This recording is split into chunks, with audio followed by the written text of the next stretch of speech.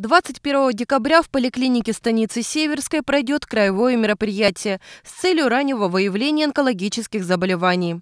С 9 до 13.00 жители Северского района примут краевые врачи – онкомамолог, онкоуролог, онкодерматолог, онкопроктолог. Все желающие смогут измерить уровень артериального давления, вес, рост, определить индекс массы тела, пройти флюорографическое обследование, маммографию.